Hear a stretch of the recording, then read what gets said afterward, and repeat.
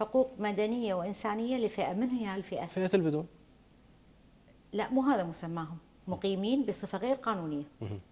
هذا المسمى الرئيسي. okay. شلون تطلع قانون حق مقيم بصفة غير قانونية؟ هذا واحد.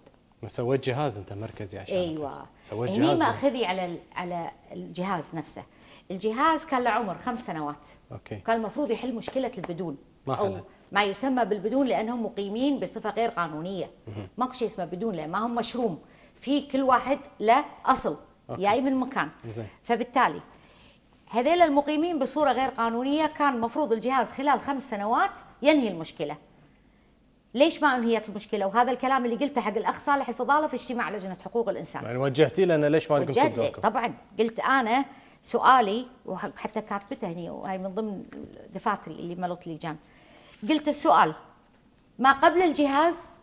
انشاء الجهاز وما بعد الجهاز. هل انحلت المشكلة؟ ولا زاد التعقيد؟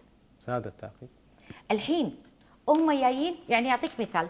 هذا إذا يا ريت آه، تسوي زوم أخ المخرج هذا أساس إصدار البطاقة.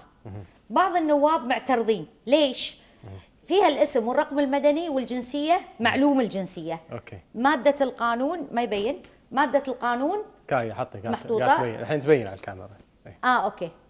إنزين. إيه. مادة القانون؟ مادة القانون. هم معترضين على الجملة الأخيرة. التأمين أساس الإصدار جواز إريتيري. أساس الإصدار إقرار وتعهد. نماذج. أساس الإصدار أبناء كويتية. أساس الإصدار إقرار وتعهد. أساس الإصدار لديه تحفظ. أساس الإصدار لديه إبعاد. أنواع. موديلات. أساس الإصدار تواجد حديث. تواجد حديث. زين يعني هذا مقيم بصفة غير قانونية. أعطيه حسب كلامه. أعطيه علاج ودواء للمعاقين يعني بهيئة الإعاقة.